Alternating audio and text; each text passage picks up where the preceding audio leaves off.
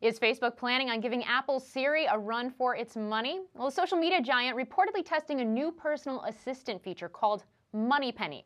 Now, that's according to tech site The Information.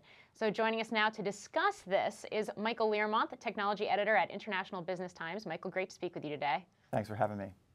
So, to be fair, this is still in early stages. We have no indication of how far along in development this is, or even when or if it could be launched. But what exactly is MoneyPenny, and what would set it apart from other personal assistants out there like Siri or Google Now?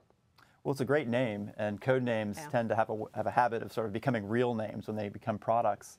You know, I think that um, voice services are kind of a must-have for any kind of web consumer giant uh, like Facebook. You know, Facebook's trying to make uh, Messenger a really rich standalone product. They've got video calling and payments.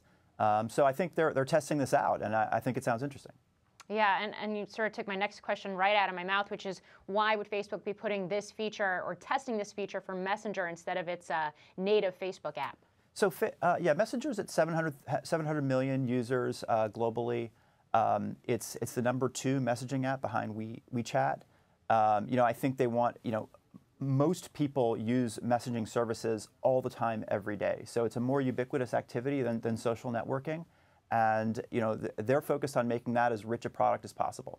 Yeah, and so what does Facebook have to do to outdo other personal assistants? I mean, according to this report and the information, they are doing something a little different uh, with these tests for MoneyPenny, um, essentially making this more of almost a, a concierge-style service, uh, even than maybe uh, something closer to Siri. What are, what are your thoughts on that? Yeah, you know, Facebook's dabbled in social search where you, you your network actually helps you do things.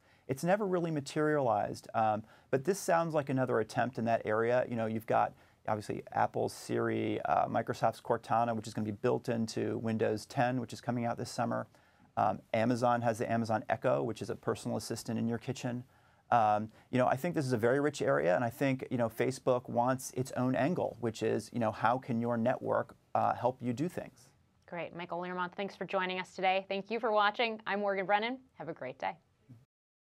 Hey YouTube fans, I'm Landon Dowdy from CNBC. Thanks so much for checking out our channel. Here you'll find videos packed with all the info that you need to be smarter about your finances. Be sure and subscribe by clicking right here and click on all the videos around me to see CNBC's original series Young Money, Tech Bet, Cramer's Mad Money, and all the latest from CNBC.